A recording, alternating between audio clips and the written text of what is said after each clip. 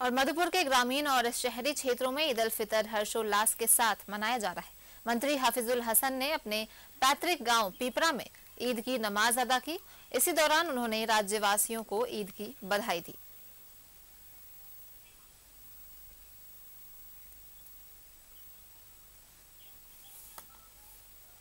का खुशी और इसके लिए पूरे देशवासियों को, पूरे झारखंड वासियों को पूरे अपने विधानसभा के वासियों को बहुत बहुत मुबारकबाद।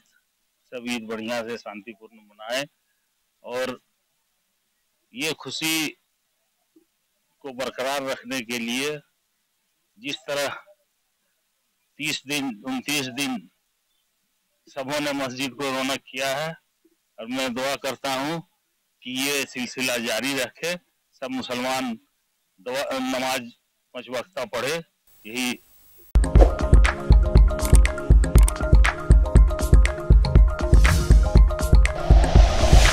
like and share videos, subscribe करें हमारा चैनल और प्रेस करें बेल आइकॉन न्यूज़ 11 भारत सच है तो दिखेगा।